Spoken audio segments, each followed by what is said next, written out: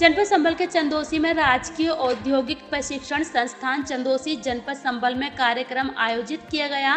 प्रत्येक क्षेत्र में आज के दौर में आधुनिकरण बहुत तेज़ी से हो रहा है।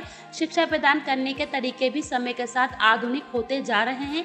आज के दौर में शिक्षा इंटरनेट के माध्यम से प्रदान की जाने वाली है, लेकिन आज भी कई छात्र व छात्राएँ ऐसे हैं जो अपनी आर्थिक स्थिति कमज़ोर होने के कारण टैबलेट या स्मार्टफ़ोन खरीदने में सक्षम नहीं है।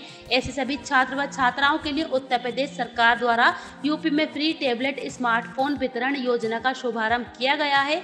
इस योजना के अंतर्गत संस्थान के 124 छात्रों को टेबलेट वितरण कार्यक्रम का आयोजन प्रधानाचार्य सुरेंद्र कुमार वासनिक की अध्यक्षता में मुख्य अतिथि डॉक्टर सुगंधा सिंह के द्वारा संपन्न किया गया। कार्यक्रम का संचालन श्रीपाल यादव कार्यालय अधीक्षक द्वारा किया गया। इस योजना के संबंध में कार्यदेशक मुकेश कुमार द्वारा योजना पर प्रकाश डाला गया एवं टेबलेट वितरण सहयोग व्यवसाय अनुदेशक अमरपाल सिंह, महिपाल सिंह, अमित कुमार शुक्ला, जयवीर सिंह जय सिंह, भागीरथ, सुधाकर मिश्रा, सूरजपाल सिंह समेत अतिथि वक्तागण, कीर्तिपाल शर्मा, अनिल कुमार गुप्ता, उपेंद्र सिंह, कुलदीप, गोपाल चतुर्वेदी, संजीव सक्सेना, मुकेश कुमार, अजय कुमार, योगेंद्र स्वरूप भटनागर, जयदीप योगदान, धीरज सक्सेना द्वारा किया गया। कहाँ पढ़ती हैं? चंदोसी आई कॉलेज आज आपको टैबलेट मिला है सरकार की तरफ़ से क्या कहेंगी? बहुत खुशी हो रही है जिससे कि हम अपनी पढ़ाई कर सकते हैं और बहुत आभारी हूँ।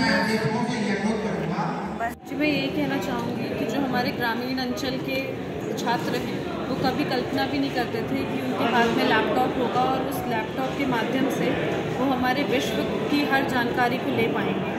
तो ये उत्तर प्रदेश सरकार ने जो योजना दी है इसके माध्यम से हमारे ग्रामीण अंचल के बच्चे अपना जो भी वो सपने देखेंगे, उसे साकार करने का उनके पास एक प्लेटफॉर्म प्रोवाइड किया है सरकार ने।